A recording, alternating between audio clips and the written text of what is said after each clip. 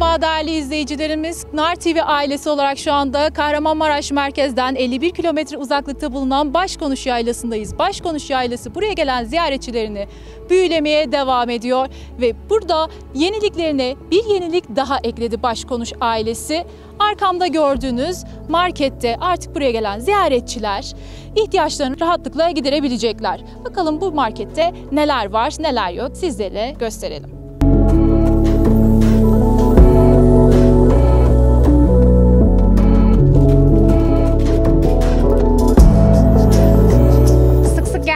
Yerdi Başkonuş. Buranın zaten böyle bir şey için, market için ihtiyacı vardı. Fiyatlar gayet uygun. Ee, şehir merkeziyle aynı neredeyse.